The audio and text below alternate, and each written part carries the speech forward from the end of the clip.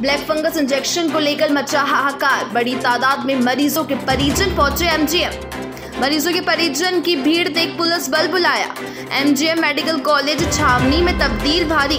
बड़ी संख्या में पुलिस बल मौजूद। मरीजों के परिजन इंजेक्शन लेने की मांग पर अड़े। इंजेक्शन नहीं मिलने पर यही देंगे धरना। ब्लैक फंगस इंजेक्शन को लेकर मचा हाहाकार। बड़ी तादाद में मरीजों के परिजन पहुँचे एमजीएम मरीजों के परिजन की भीड़ देख पुलिस बल बुलाया। एमजीएम मेडिकल कॉलेज छावनी में तब्दील भारी। बड़ी संख्या में पुलिस बल मौजूद। मरीजों के परिजन इंजेक्शन लेने की मांग पर अड़े। इंजेक्शन नहीं मिलने पर यही देंगे धरना।